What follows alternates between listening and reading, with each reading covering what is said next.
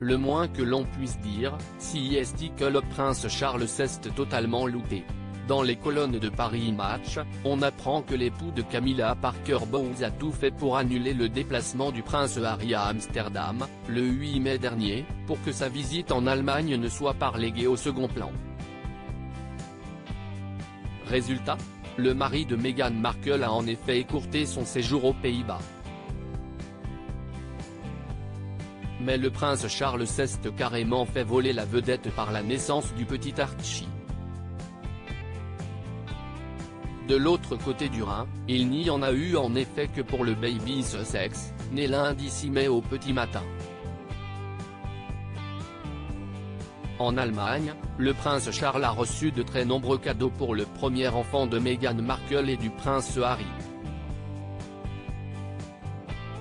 Le karma.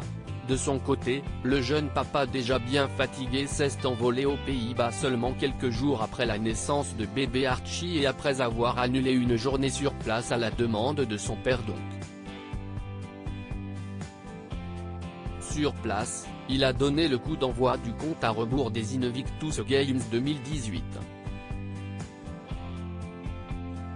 De retour en Angleterre auprès de Meghan Markle, le prince Harry a déjà rapporté plusieurs cadeaux pour leur fils dont un body trop mignon. Âgé de seulement quelques jours, le petit Archie est pour le moment plutôt calme. Si est-il l'enfant le plus paisible, le plus placide que vous verrez, expliquait un proche du duc et de la duchesse de Sussex au Harper Bazaar. Meghan et Harry sont si fiers, mais aussi soulagés d'en avoir fini avec les séances photos.